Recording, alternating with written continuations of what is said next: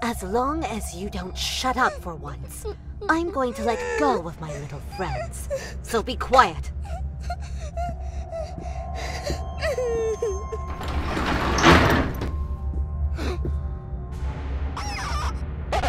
Hi, pretty. How did you nap?